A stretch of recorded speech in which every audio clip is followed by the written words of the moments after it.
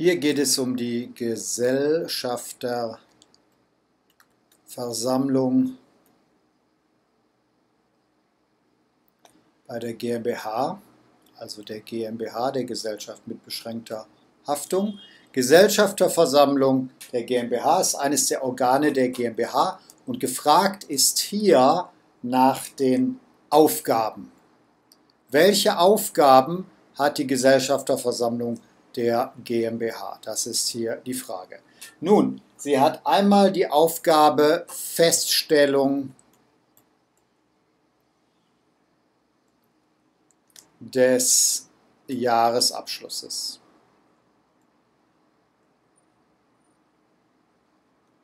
Feststellung des Jahresabschlusses.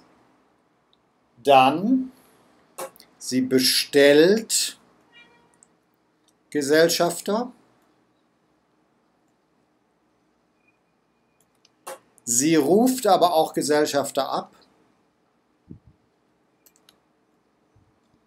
Bestellt und ruft sie Gesellschafter ab. Sie überwacht die, ich kürze mal ab, Geschäftsführung, GF. Sie überwacht die Geschäftsführung und Sie bestellt nicht nur Gesellschafter, sondern auch Prokuristen oder sonstige Generalbevollmächtigte.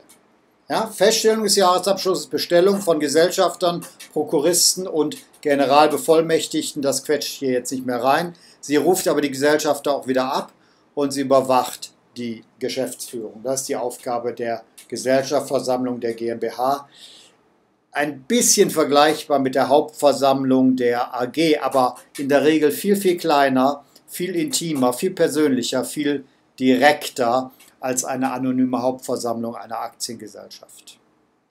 Okay. Im Übrigen glaube ich, dass wer in die Hölle will, nur einen Fernlehrgang zu buchen braucht.